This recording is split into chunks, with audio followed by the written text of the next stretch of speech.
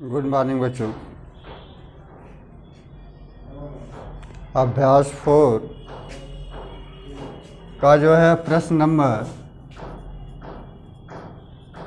दो है। यक्ष का घन ऋण एक बटा यक्ष का घन का मान ज्ञात कीजिए। यदि यक्ष ऋण एक बटा यक्ष के मान जो है चौबीस बटा पाँच। यह सूत्र है हमारा ए माइनस वी का। घन बराबर होता है ए का घन माइनस वी का घन माइनस तीन गुड़े ए गुड़े बी कोष्ट में ए माइनस बी अब इसी के आधार पर हम इसे ज्ञात कर लेंगे। यक्स माइनस एक बटा यक्स का कीफ हो गया। यानी पहले पद का घन यक्स का घन, ऋण एक बटा यक्स का घन, ऋण तीन पहला पद और दूसरा पद। यक्स गुड़े एक बटा। यक्स कोष्ट में। यक्स माइनस एक बटा। यक्स कोष्ट अब हमें यहाँ दिया है यक्स ऋण। एक बटा यक्स का मान जो है चौबीस बटा पाँच। तब रख दें। चौबीस बटा पाँच कोष्ठ वन का घन। बराबर यक्ष का घन ऋण एक बटा यक्ष घन। अब यह है और यह कर जाएगा। ऋण तीन हो गया। यक्ष ऋण एक बटा यक्ष का मान जो है दिया है। चौबीस बटा बटा पाँच। अब गुड़ा कर दें।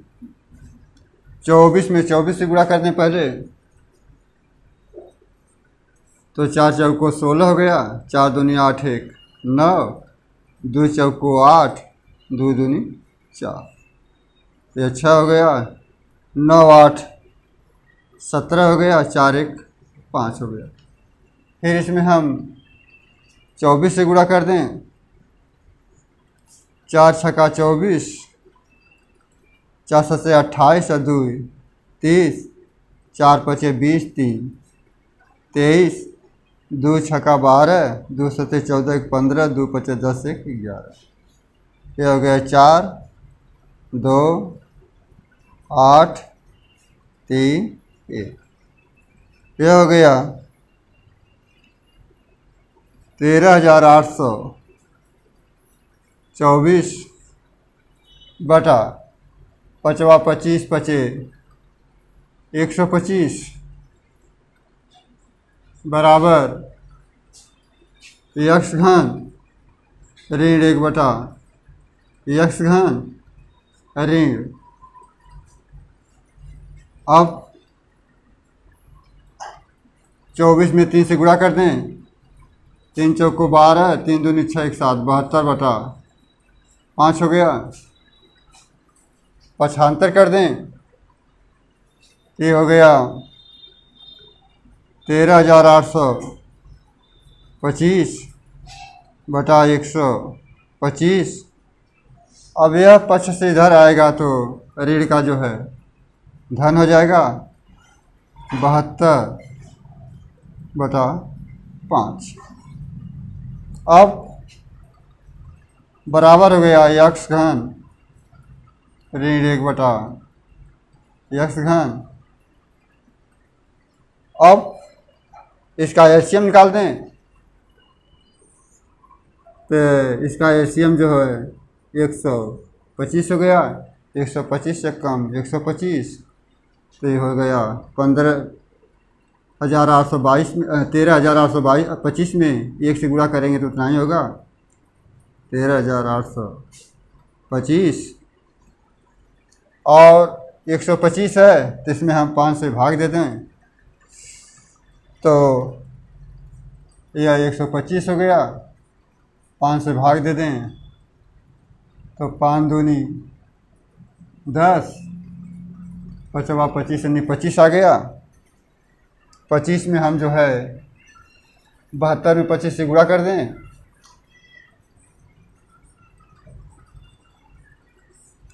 पाँच दूनी दस, पाँच सत्ते पैंतीस, एक छत्तीस, दो दूनी चार, दो सत्ते चौदह, ज़ीरो छः चार दस, चार तीन सात एक, आठ एक अट्ठारह सौ।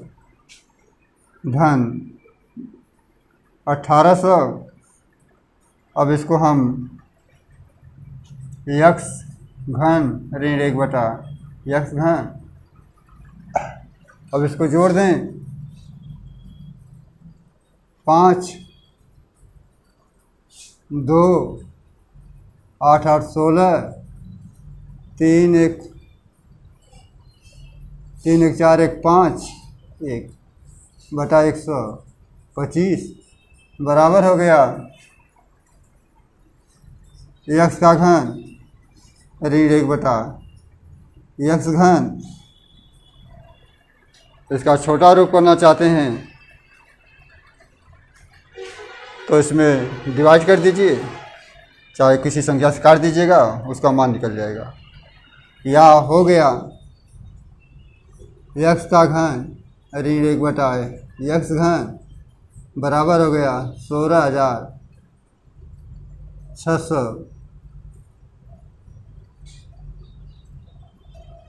पंद्रह हज़ार छः सौ पच्चीस बटा एक सौ पच्चीस। ये हमारा आंसर है, छोटा करना तो कर लीजिएगा। यह प्रश्न नंबर तीन है। यदि यश स्क्वायर धन एक बटा यश स्क्वायर बराबर बयासी बटा नौ है तो यक्ष घन ऋण एक बटा यक्ष घन का मान पूछ रहा है। कितना होगा? यहाँ स्क्वायर है, लेकिन इसमें जो है स्क्वायर नहीं है। तो स्क्वायर का जो है, हम यक्स धन, एक बटा यक्स का मान निकालने पहले देखें। तो यह सूत्र होता है आपका ए प्लस बी का जो है स्क्वायर होता है। ए का स्क्वायर प्लस बी का square plus two A B होता है। इसी के आधार पर हम इसको पहले रखें। तो कोष्ट में ए प्लस बी यक्स धन एक बटा यक्स स्क्वायर हो गए। धन दो गुड़े यक्स गुड़े एक बटा यक्स बराबर हो गया। यक्स धन एक बटा यक्स का स्क्वायर हो गया। अब यक्स स्क्वायर धन एक बटा यक्स स्क्वायर का मान जो है, एक मिनट। यश स्क्वायर धन एक बटा यश स्क्वायर का मान जो है, बयासी बटा नौ है। तो यहाँ हम लिख दें, बयासी बटा नौ, धन। यह यह कट गया, दो में एक से गुणा किया तो दो हो गया। बराबर जो है यक्स धन, एक बटा यक्स का स्क्वायर हो गया। अब इसका जो है हम एम निकाल दें। तो यह हो गया नौ। नौ एक कम नौ तो बयासी एक कम बयासी हो गया। धन नौ दूनी अट्ठारह हो गया। बराबर यक्स धन एक बटा यक्स का स्क्वायर हो गया। अब इसको जोड़ दें। आठ दो दस हो गया आठ एक नौ एक दस। यानी सौ बटा नौ बराबर हो गया यक्स धन एक बटा यक्स स्क्वायर हाँ, का स्क्वायर हो गया। तो हम यक्स धन एक बटा यक्स बराबर कितना होगा? यक्स धन एक बटा यक्स बराबर हो जाएगा। करड़ी में या वर्ग में लिख देंगे सौ। बटा जो है नौ हो जाएगा दस दहा में सौ, तीन तरीके नौ। यानी दस बटा तीन आ गया। यह हो गया यक्स धन एक बटा यक्स बराबर हो गया दस बटा तीन। अब देखिए है इसका हमको मान निकालना है।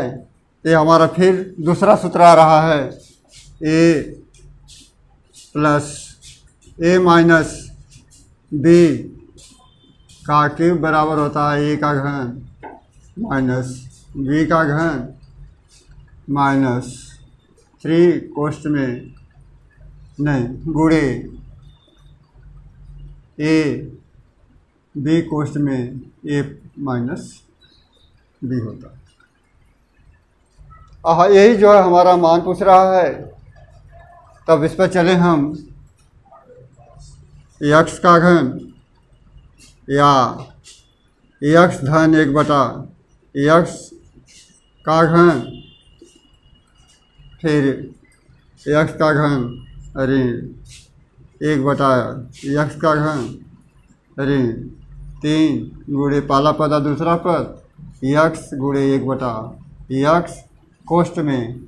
यक यक्स ऋण, एक बटा। यक्स कोष्ट बन अब जो है, यह और यह कट गया। तो कोष्ट में यक्स धन एक बटा यक्स का घन बराबर हो गया यक्स पर घन ऋण एक बटा यक्स का घन। यह और यह कट गया। ऋण जो है तीन। कोष्ट में यक्स ऋण एक बटा यक्स हो गया। हमने जो है नीचे निकाला था यक्स धन। ना?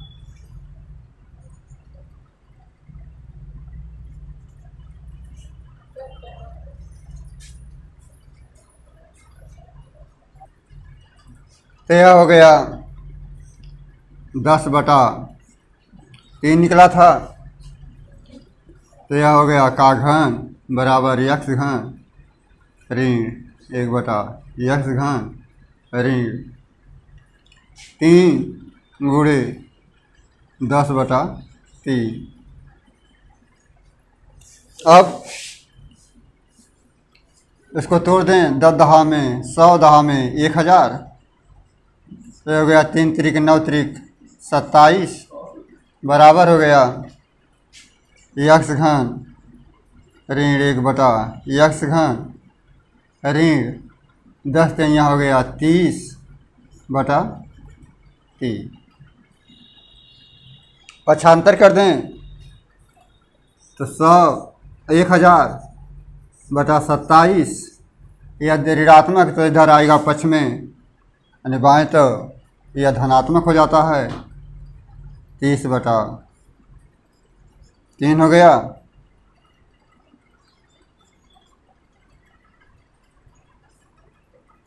बराबर यक्स का घन ऋण एक बटा यक्स का घन। और इसका एलसीएम जो है, सत्ताईस हो गया। तो यह हो गया सत्ताईस एकम सत्ताईस है एक हज़ार एकम एक हज़ार। तीन नवा, सत्ताईस नौ होगा रहा है। इसमें नौ से गुणा कर दें, नौ शून्य शून्य, नौ तरीक सत्ताईस हो गया।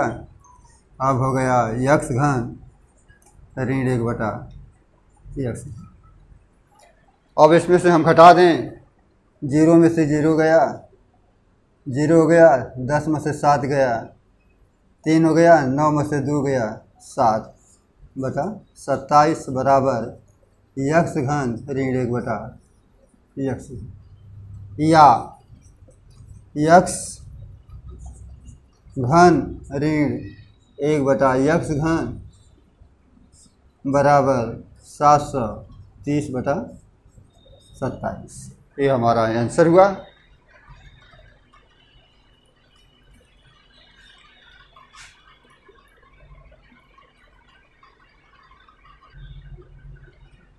देखिए, अभ्यास फोर बी का जो है, पहला, दूसरा और तीसरा हो गया है। इसके बाद जो है, प्रश्न नंबर चार जो है, सोमवार को जो है पढ़ाया जाएगा। और इसे जो है आप हल करें और इस अभ्यास को समझें और समझ करके आगे लगाएँ। धन्यवाद।